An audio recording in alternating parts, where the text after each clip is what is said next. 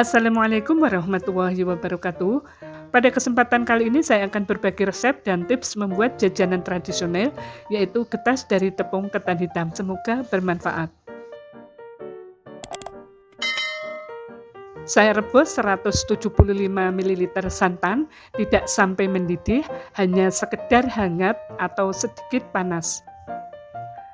Siapkan wadah dan masukkan 250 gram kelapa parut. Kelapa parut ini saya buat dari kelapa setengah tua, artinya tidak terlalu tua juga tidak terlalu muda. Kemudian tambahkan 200 gram tepung ketan putih. 100 gram tepung ketan hitam. 50 gram tepung beras. Selanjutnya bahan kering ini saya aduk-aduk sampai tercampur rata. Oh ya maaf teman-teman ya, tadi saya lupa menambahkan garam dan ini saya tambahkan setengah sendok teh garam. Saya lanjutkan menyampur sampai bahan-bahan kering ini bercampur rata.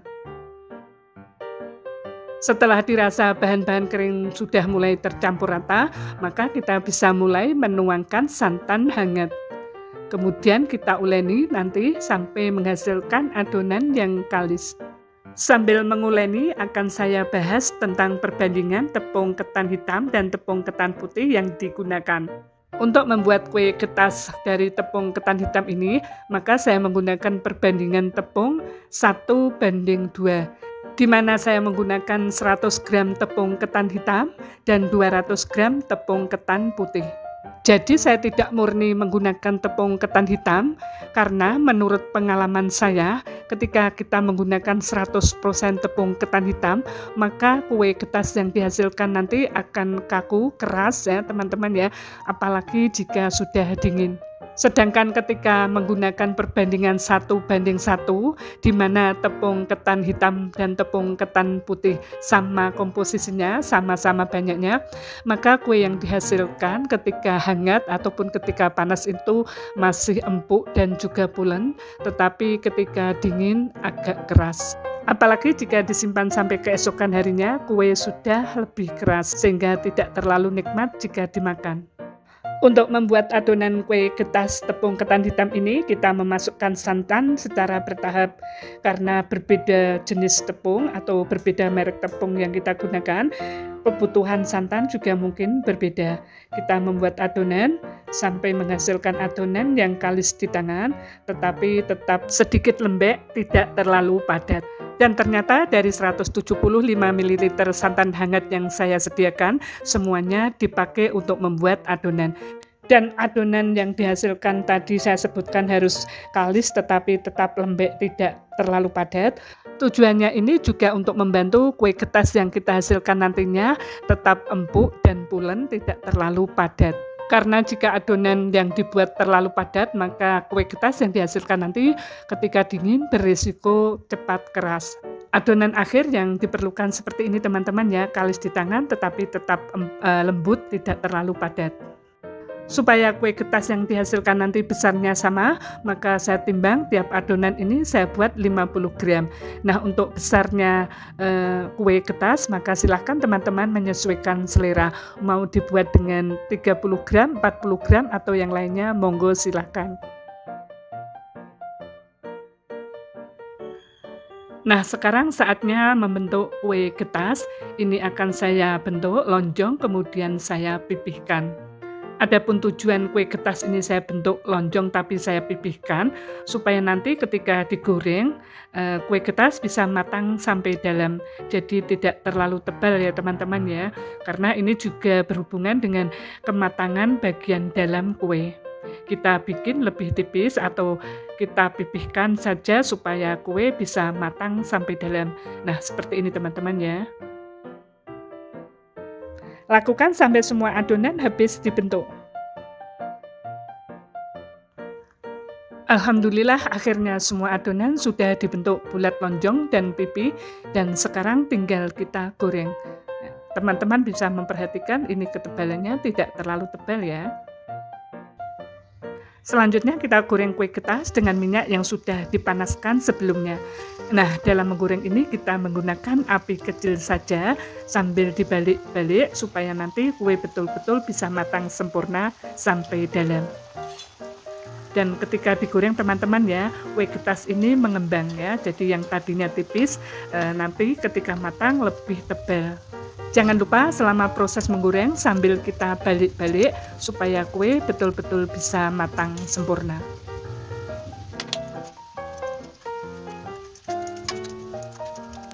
Dan ketika kue ketas sudah matang ditandai dengan kulit yang terasa garing, maka kita bisa mengangkatnya.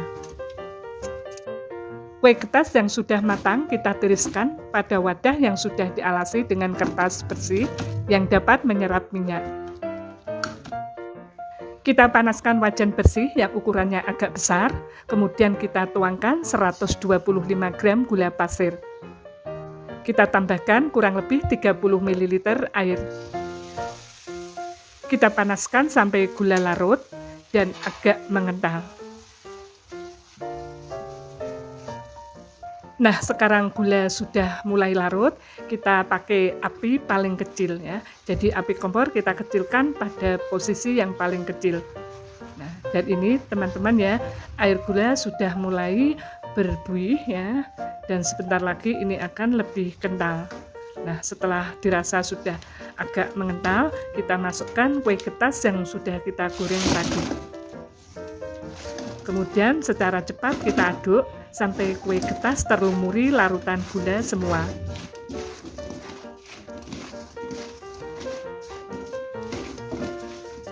Dan ketika kue ketas sudah terlumuri gula semua seperti ini, kita matikan api kompor. Selanjutnya kita aduk-aduk terus sampai gula mengering.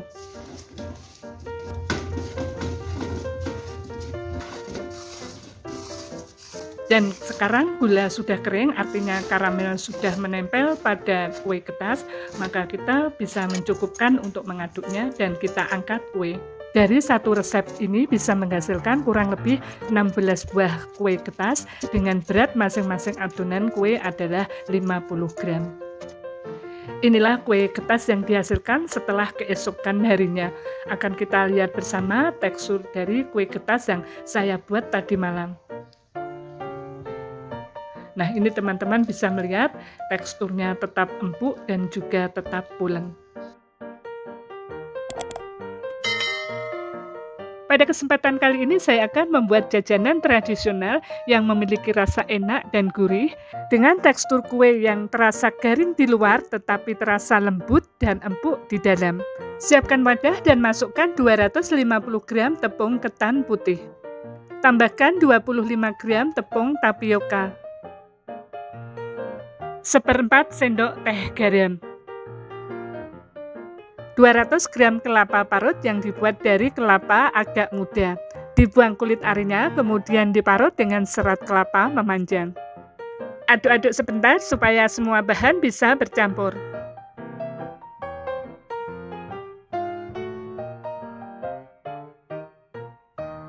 Tambahkan 65 ml santan kental. Di sini saya memakai santan instan, satu saset kemasan 65 ml. Aduk-aduk sebentar supaya santan bercampur dengan adonan. Saya siapkan 150 ml air hangat. Kita tambahkan secara bertahap dan ini akan kita gunakan seperlunya saja sampai menghasilkan adonan yang kalis di tangan dan bisa dipulung. Kita tambahkan sambil diaduk-aduk.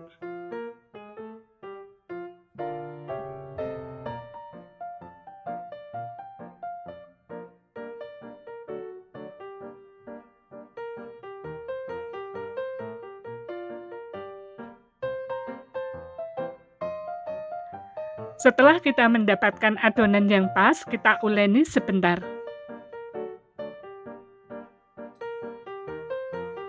Dan ini adonan sudah jadi teman-teman ya. Ini adonannya sudah kalis di tangan, bisa dipulung dan tetap memiliki tekstur yang lembut, tidak terlalu padat atau tidak terlalu pulen. Supaya kue yang dihasilkan nanti besarnya sama, maka adonan saya timbang tiap satu bagian kurang lebih 40 gram.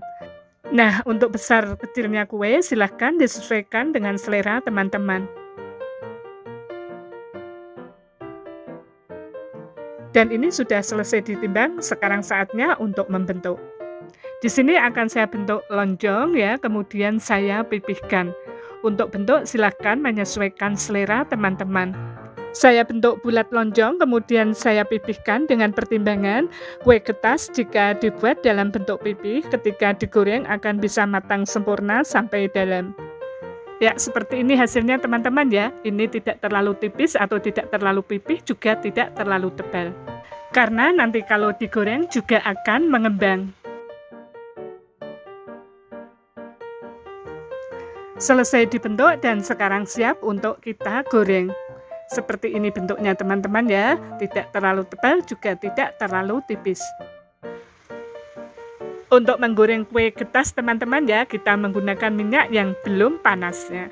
Karena nanti kalau minyaknya terlalu panas, getas yang kita goreng bisa meletus atau pecah ya, rawan untuk pecah. Jadi kita gunakan minyak yang masih dalam keadaan hangat. Kemudian untuk menggorengnya kita juga gunakan api sedang cenderung kecil. Ini bisa menjaga atau menghindarkan kue ketas pecah ataupun meletus ketika digoreng. Kita goreng ketas sampai matang ditandai dengan warna ketas yang sudah kekuningan. Jangan lupa sesekali sambil dibolak-balik selama proses menggoreng. Setelah ketas berwarna kekuningan bisa kita angkat dan ditiriskan.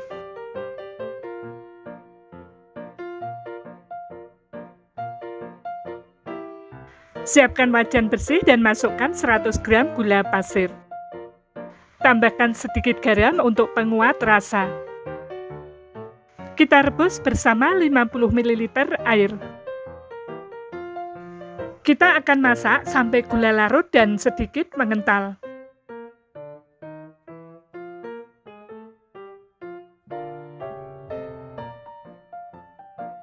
Ketika gula sudah larut dan sedikit mengental seperti ini, kita kecilkan api. Selanjutnya kita masukkan getas yang sudah kita tiriskan tadi. Aduk cepat supaya air gula segera bercampur rata dengan kue getas.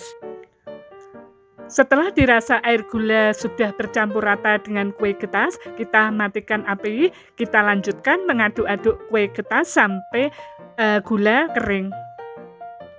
Dan setelah gula kering seperti ini teman-teman ya, dan sudah berkaramel, ini sudah selesai dan siap kita angkat.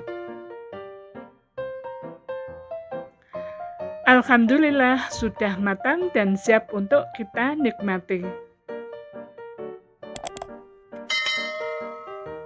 Resep ketiga adalah getas yang terbuat dari bahan singkong yang rasanya gurih seperti wingko. Bahan-bahan yang perlu disiapkan 300 gram singkong parut, 150 gram kelapa parut, garam secukupnya, 1 saset vanili bubuk, 120 gram gula pasir, 100 ml air.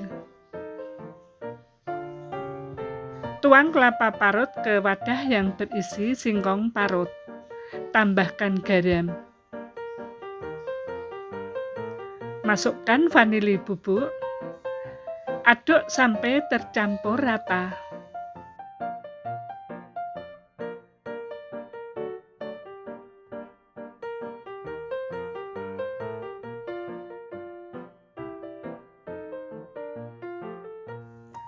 Selanjutnya bentuk sesuai selera. Di sini saya bentuk lonjong, kemudian saya pipihkan.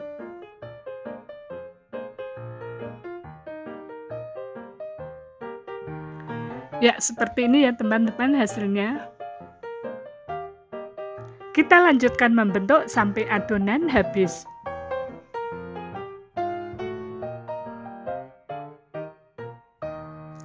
Selanjutnya kita goreng dengan menggunakan api sedang cenderung kecil.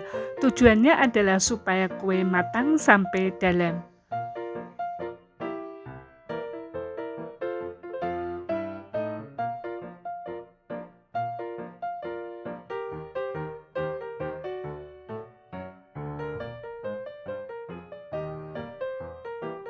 Selama proses menggoreng, jangan lupa kita bolak-balik kue supaya bisa matang merata sampai dalam. dan juga menghindarkan kue dari gosong. Setelah kue berwarna kuning kecoklatan dan kulitnya terasa garing, kita bisa mengangkat dan meniriskan.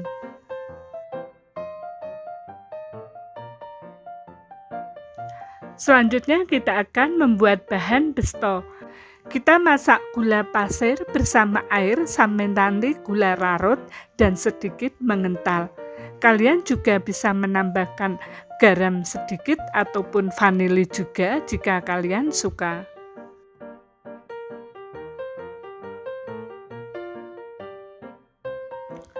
Setelah gula larut dan sedikit mengental, masukkan kue. Aduk cepat sampai semua larutan gula bercampur dengan kue. Jangan lupa posisikan api dalam keadaan paling kecil. Jika larutan gula sudah bercampur rata dengan kue dan sudah sedikit kering, matikan api. Lanjutkan mengaduknya tanpa menggunakan api sampai gula betul-betul kering. Angkat kue getas singkong, kemudian kita tata di piring saji. Alhamdulillah sudah selesai dan ini siap untuk dinikmati. Rasanya betul-betul enak, gurih dan legit seperti kita menikmati wingko dari tepung ketan. Tekstur kuenya terasa garing di luar tetapi dalamnya sangat lembut. Hmm, ini betul-betul enak teman-teman ya dan kalian wajib untuk mencobanya dengan bahan yang sangat sederhana menghasilkan camilan yang enak legit dan gurih yang rasanya tidak kalah dengan wingko yang terbuat dari ketan.